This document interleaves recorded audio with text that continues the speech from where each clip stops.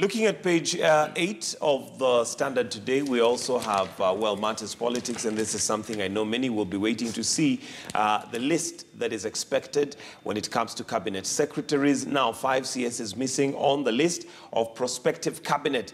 And, uh, well, this, of course, is one that uh, the country is waiting to see. And uh, the president had made it clear that he was going to release this list in the new year. So now we are in the new year, and uh, we're waiting to see who are going to be the implementers of the vision for Jubilee.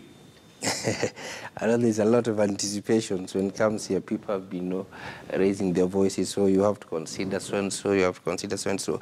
But um, mine will just be a concern with the president because this is his last term, and what he sets out will definitely sparkle or will definitely define his legacy at the end of this. Mm. This is not the time to please people or the time to please specific individuals. This is the time to abide by the constitution and the rules of the law of this country.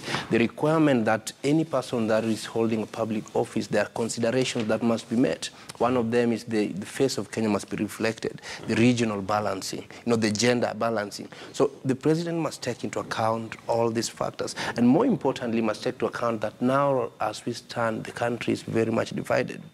And he wants to form that an inclusive government, that everybody feels that they are reflected in that government, that he is trying to reach out to all of them. And I'd said here even before that if I were the president, what I will do to even to uh, spearhead this healing process or to send a good legacy at the end of my term is to ensure that even those who oppose me the most benefit the most in my government because that is now how you heal a nation. That is how you define your legacy as you go.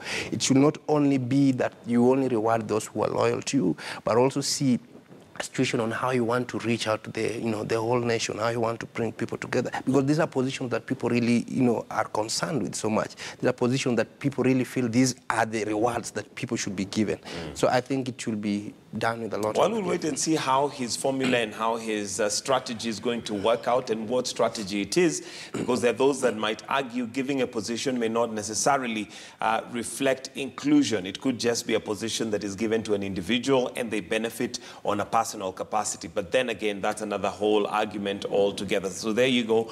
On page two, we also